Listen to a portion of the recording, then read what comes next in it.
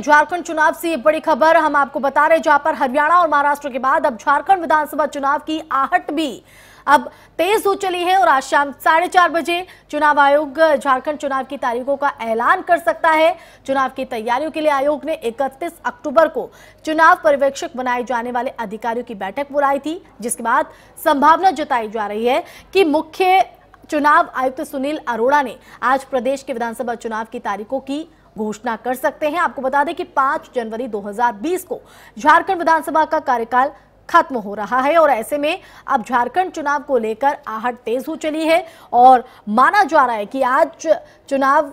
तारीखों का ऐलान किया जा सकता है। तो चुनाव आयोग कर सकता है चुनाव की तारीखों का ऐलान, क्योंकि कल प्रवेशक अधिकारियों की तरफ़ से जो बैठक थी वो की गई थी और उस बैठक होने के बाद इसी तरह के कयास जो हैं, वो लगाए जा रहे हैं कि आज बड़ा ऐलान झारखंड में चुनाव को लेकर किया जा सकता है। तो चुनाव आयोग चुनाव की तारीखों का ऐलान आज शाम कर सकता है।